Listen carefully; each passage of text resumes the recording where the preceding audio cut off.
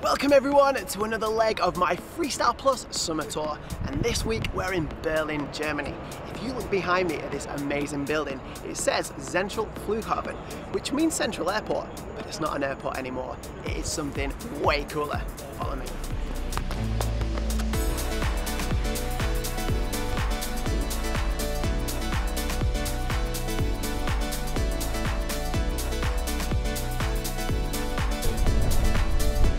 This place is now a huge public park and it's the most amazing place I have ever seen for freestyling. But today we'll be focusing on a sport that I have always wanted to try. And here he is, the European champion, Sasha. What got you into freestyle frisbee?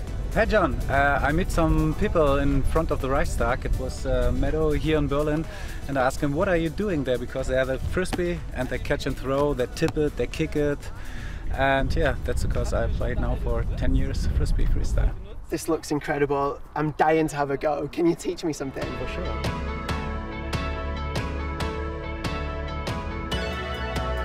Right, Sasha, I would like to collaborate here and use my ball with your frisbee and create an amazing mega trick. I have the perfect place for it.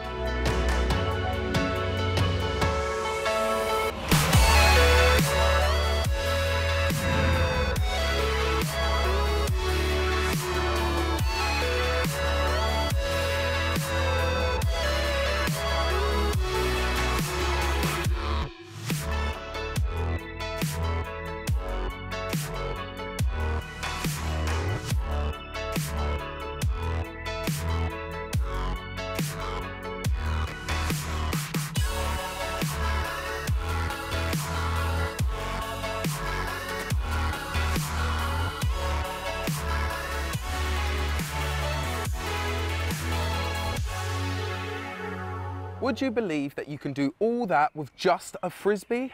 Phenomenal freestyling, guys.